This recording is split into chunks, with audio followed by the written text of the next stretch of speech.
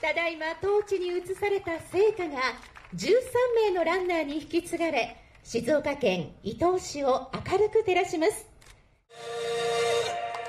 57年ぶりに県内にやってきた聖火リレー。3日間の日程は今日が最終日です。聖火は伊東市をスタートし下田市など伊豆半島を回っていきます。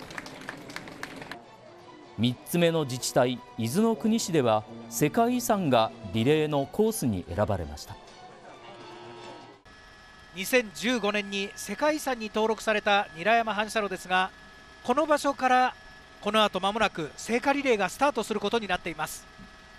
聖火リレーの先導者や集まっている人々の姿が見えます。あ芝生広場にもたくさんの人が集まっている様子が分かります。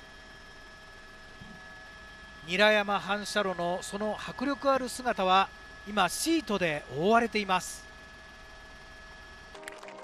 韮山反射炉は煙突部分の塗装が劣化したため去年10月から改修工事が続いています。